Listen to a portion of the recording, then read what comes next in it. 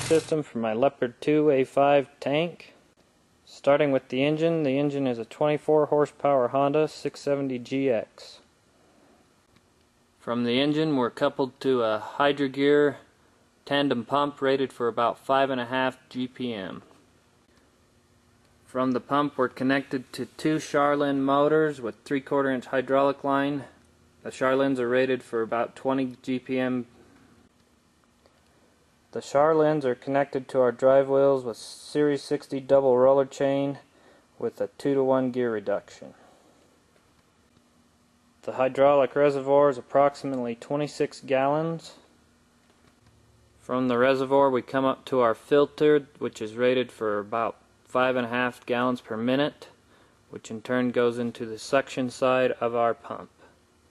Then the return line from the pump goes into the upper part of the hydraulic reservoir.